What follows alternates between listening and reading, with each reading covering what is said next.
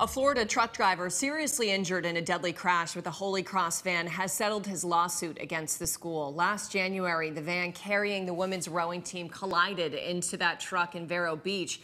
20-year-old Grace Rett was killed and several others were badly injured. The truck driver, Ronald Wolf, suffered what he called catastrophic injuries and sued the college and the former rowing coach who was driving the van.